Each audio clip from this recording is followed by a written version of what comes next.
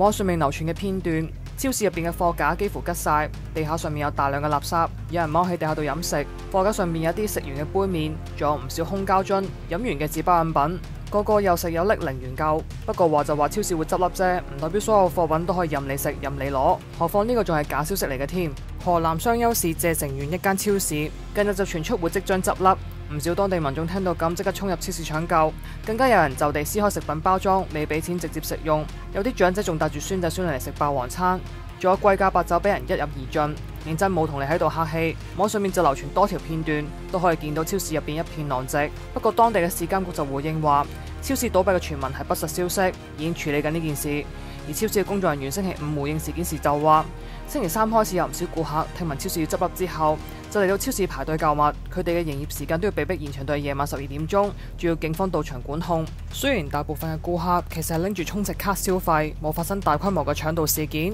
但的確就有好多人喺超市入边就地開餐。而家超市入边嘅商品已經未搶購一空，佢哋仲喺度計算緊個損失，亦都發咗公告話由星期五開始暫停營業幾日，要備份足貨先至會恢復營業。